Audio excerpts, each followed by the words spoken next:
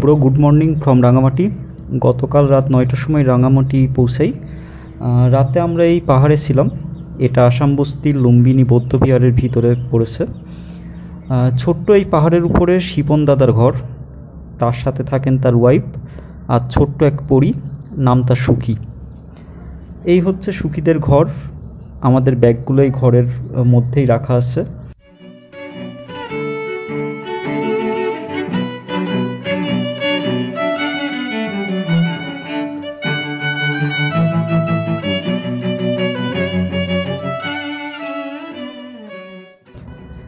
এই যে ব্যাগেজ, এই হচ্ছে দাদার পেঁপে গাছ এটা হচ্ছে টয়লেট। পানির ট্যাঙ্কির পাশে ছোট্ট এই জুম ঘর। আমরা পাঁচজন এই ঘরেই ছিলাম। চারপাশ খোলা আর সাথে সুন্দর এই মাচা। রাঙামাটিতে আমার সাথে আছে আমার ছোট বোন দিশা, ভাই শোভন। আশা এবং শামীম ভাই।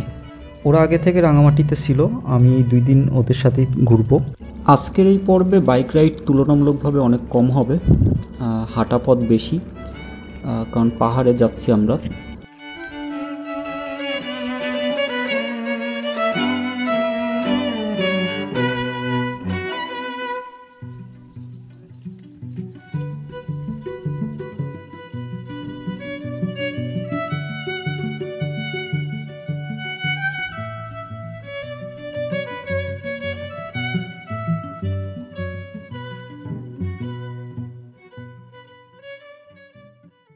জুম ঘরের ঠিক পাশেই ছোট্ট একটি স্বর্গ আছে।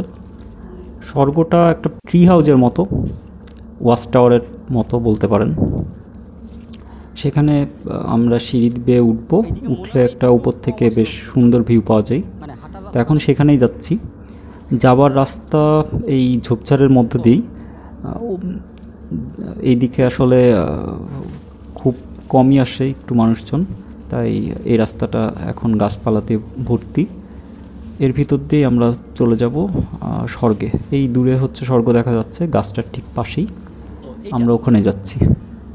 আমাদের এই পার্বত্য জেলাগুলোতে আসলে আপনি প্রচুর পাহাড় আর সবুজ দেখতে পাবেন।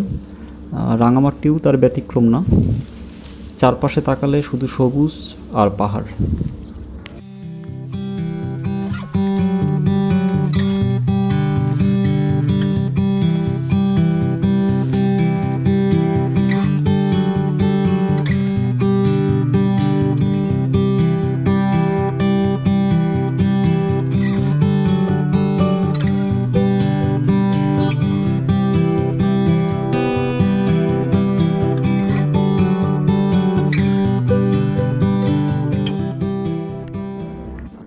স্বর্গে ওঠার সিঁড়িগুলো খুব বেশি সুবিধার না। তবে উপরে পৌঁছালে বেশ সুন্দর একটা ভিউ পাওয়া যাবে।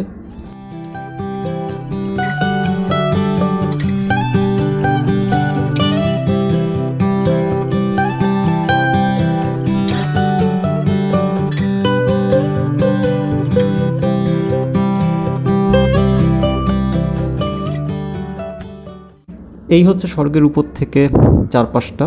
আমরা দূরের ওই ছোট্ট ঘরটাতে ছিলাম। এই জায়গাটাকে বলে লুম্বিনী বৌদ্ধ বিহার। তবে এটা নেপালের লুম্বিনী নয়, এটা রাঙামাটির লুম্বিনী। নেপালে যেই লুম্বিনী নামে যেই জায়গাটা আছে, সেটাই হচ্ছে গৌতম বুদ্ধের জন্মস্থান। নেপাল ট্যুরে গিয়ে লুম্বিনীতে যেতে পারিনি সময়ের জন্য, তবে নেক্সট টাইম গেলে অবশ্যই লুম্বিনী ভিজিট করে আসব। এবারে নিচে নামা যাক।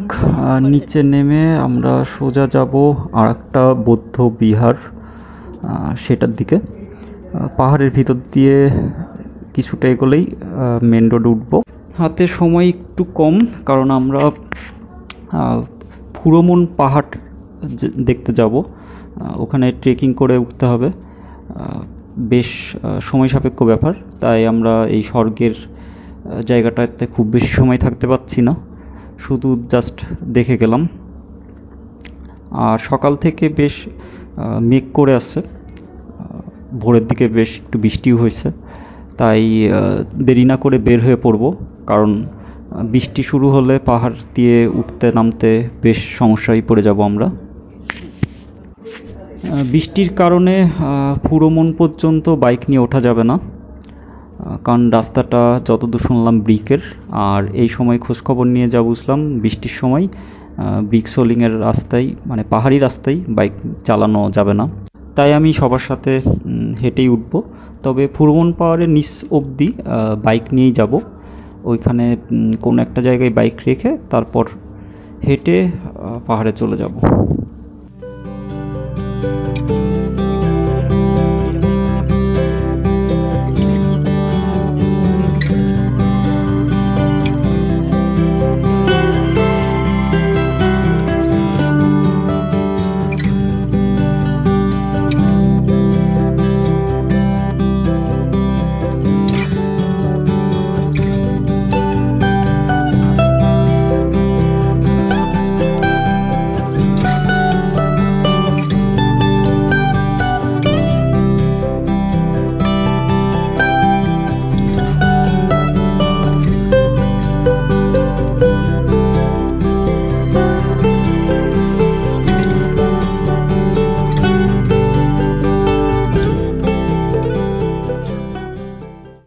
কিছু সময় পাহাড়ের ভিতর দিয়ে আসার পর অবশেষে এই রাস্তা পেলাম।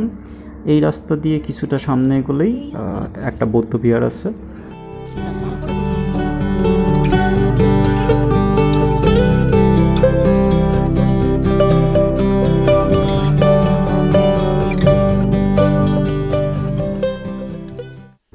এই হচ্ছে বুদ্ধিস্ট টেম্পলটা।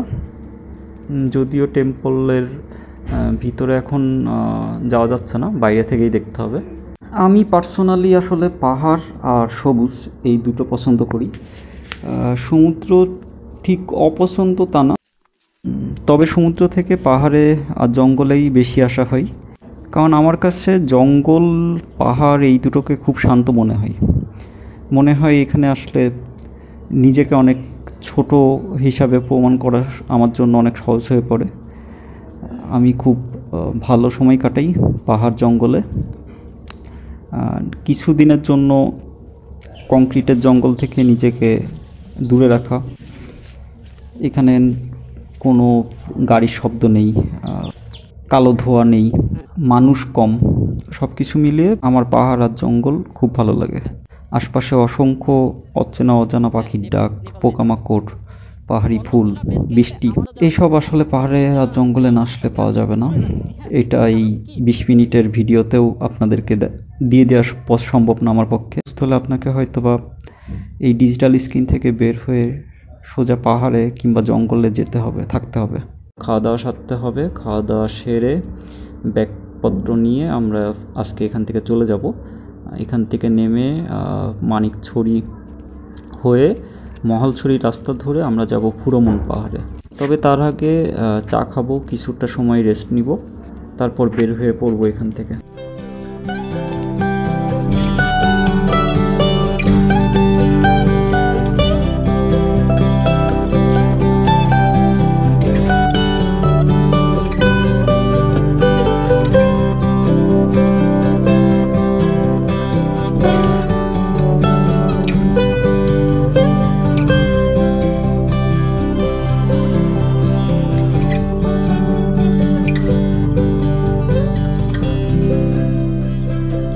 অবশেষে বিদায়ের পালা।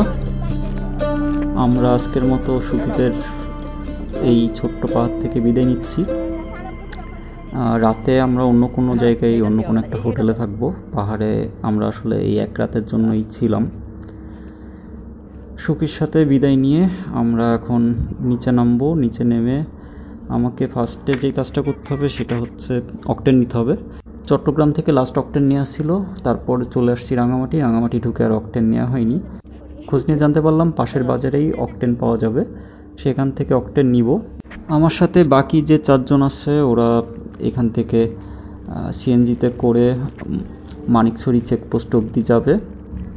সেখান থেকে ওরা হাঁটা শুরু করবে। আর আমি সরাসরি চলে যাব পুরমন পাহাড়ের ঠিক নিচে। ওখানে গিয়ে আমি ওদের জন্য ওয়েট করব।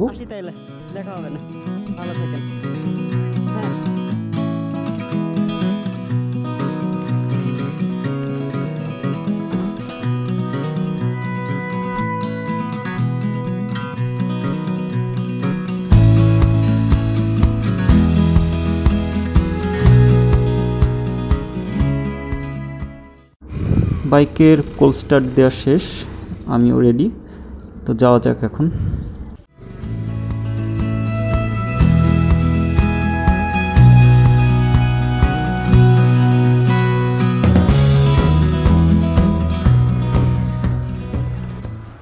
এই প্রথম আমি খোলা তেল আসলে নিচ্ছি।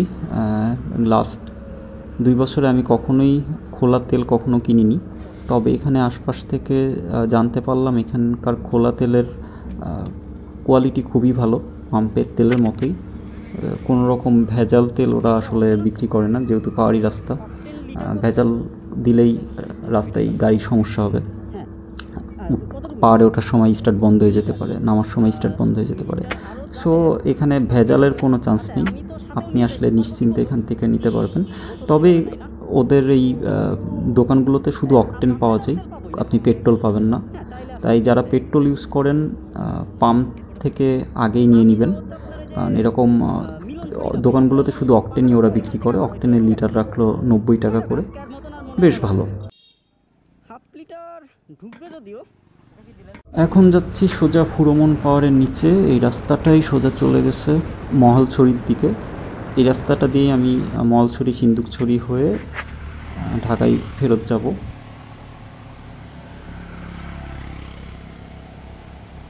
এখান থেকে ব্রিক সোলিংয়ের রাস্তা শুরু।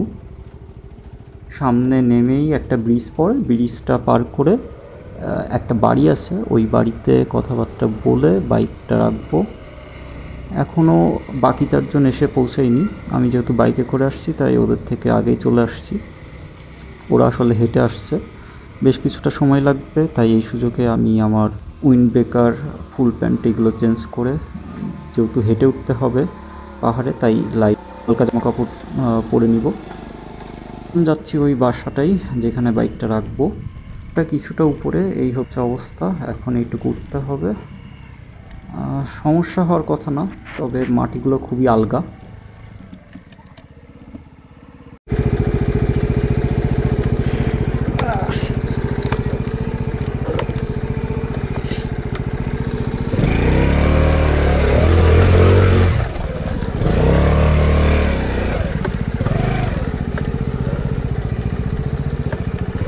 এখানেই বাইকটা রাখব পার্ক করে। এখান থেকে হেঁটে আমরা চলে যাব ফুরমন পাহাড়ে ফুরমন পাহাড়ের উপরে বুদ্ধিস্ট মেডিটেশন সেন্টার আছে। হেঁটে যেতে সময় লাগবে আড়াই থেকে তিন ঘণ্টা। এখন বেশ রোদ রোদ কিছুটা কম থাকলে আমাদের সুবিধা হতো। তবে রোদের তাপ যেহেতু আছে, আমরা রাস্তায় বেশ কভার ব্রেক নিব। ব্রেক নিয়ে আস্তে ধীরে উঠবো, কোনো তারা নেই। পাহাড় থেকে নামতে আমাদের অবশ্য রাত হয়ে যাবে। যাই হোক আগে আগাতে থাকি। পাহাড়ে আসার আমার অন্যতম আর একটা কারণ হচ্ছে পাহাড়ের কাছ থেকে আমি একটা শান্তি পাই। ভ্রমণের এই পাহাড়ে কখনো শীতকালে আসলে চেষ্টা করব বাইক নিয়ে ওঠার কারণ রাস্তাগুলো দেখে খুবই ভালো লাগল। তবে অনেক উঁচু নিচু এই রাস্তাটার সাথে এই রাস্তাটার সাথে তিনদুর রাস্তার বেশ মিল আছে। আপনারা যারা তিনদুতে গেছেন তারা চাইলে এই ভ্রমণেও ঘুরে যেতে পারেন বাইক নিয়ে।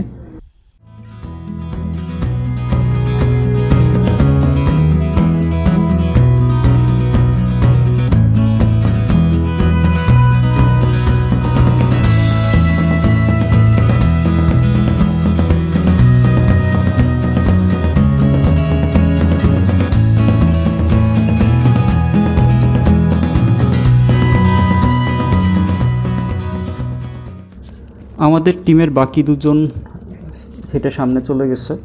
তাই আমি, দিশা আর শোভন একসাথে উঠছি এখন পাহাড়ে। আমরা আমাদের মতন ব্রেক নিচ্ছি রিল্যাক্সে পাহাড়ে উঠছি, গান শুনতে শুনতে।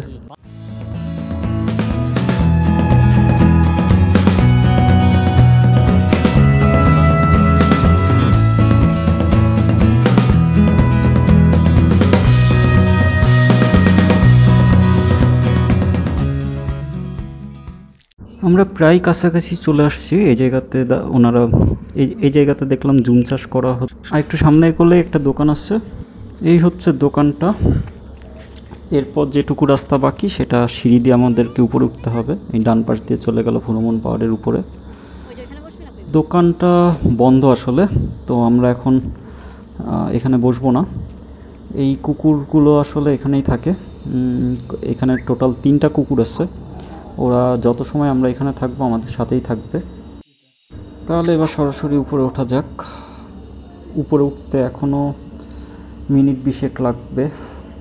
টোটাল সিঁড়ি আছে এখানে ছয়শো আটচল্লিশটা।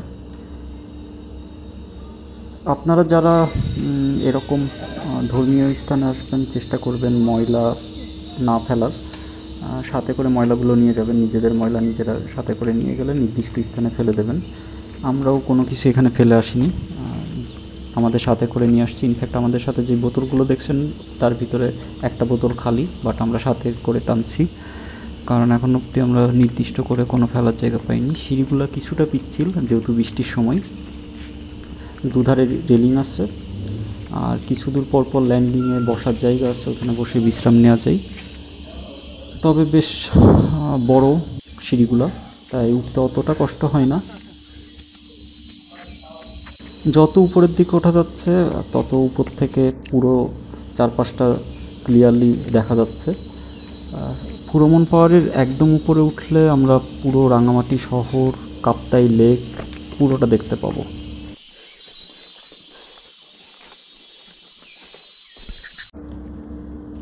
এই হচ্ছে আমরা উপরে উঠে গেলাম।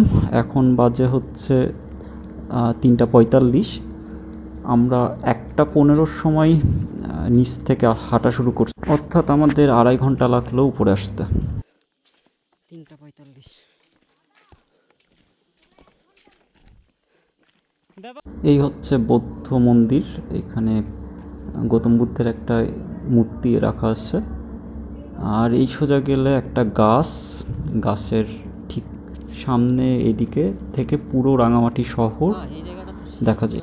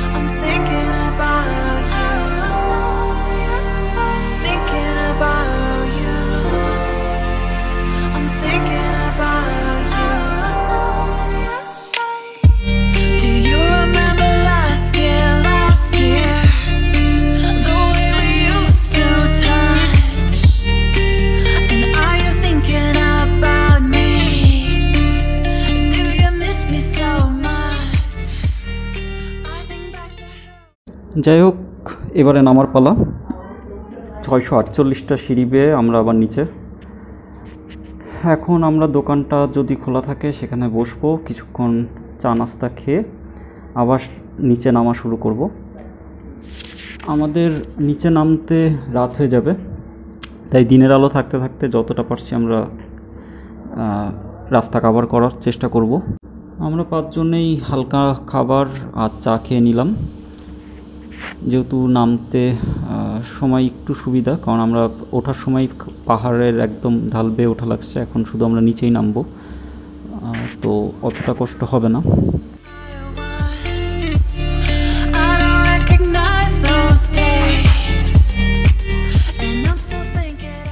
আমাদের ফুরমন পাহাড় থেকে নামতে রাত সাড়ে আটটা বেজে যায় তারপর শুরু হয় বৃষ্টি। তাই আমি আর ক্যামেরা বের করিনি। আর চারপাশে এতই অন্ধকার যে দেখানোর কিছু ছিল না। তারপর রাঙামাটি শহরে চলে যাই আমরা। হোটেল ঠিক করে রাতের খাওয়া দাওয়া সেরে সেরে রাতে ঘুম দিই। তো এই হচ্ছে আজকের গল্প। তবে অনেক দিন বাদে পাহাড়ে এসে বেশ ভালো লাগছে। তো আজকের মতো এই অবধি। দেখা হবে আগামী দিন। নতুন কোনো জায়গায় নতুন কোনো রাস্তা ভিডিওগুলো ভালো লাগলে লাইক কমেন্ট শেয়ার দিবেন। আর আগের দিনের ভিডিও লিংক আই বাটনে দেওয়া আসছে আপনারা যারা দেখেননি এখনও দেখে নিতে পারেন। আর চ্যানেলটি ভালো লাগলে সাবস্ক্রাইব করে রাখবেন, তাহলে নতুন ভিডিও আপলোড হলে আপনাদের কাছে নোটিফিকেশন চলে যাবে। ভালো থাকবেন, সাবধানে থাকবেন। শুভরাত্রি, দেখা হবে রাস্তায়।